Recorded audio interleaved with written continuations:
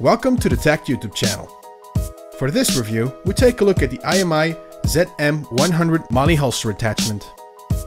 IMI Defense is an Israeli-based company producing holsters and accessories for real firearms.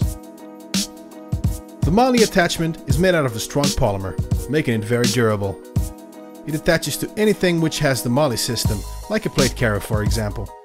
Instead of time-consuming MOLLE weaving, the item is easily installed to any MOLLE rig. This attachment is fully compatible with all IMI Defense's holsters and pouches thanks to the IMI's unique mounting system.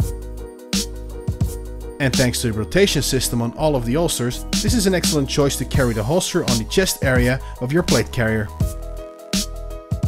The ZM100 is available in black, tan and olive drab green. Our main airsoft supplier, airsoftshop.be, is an official retailer of IMI Defense, so be sure to head over to the website. Thanks for watching, until next time.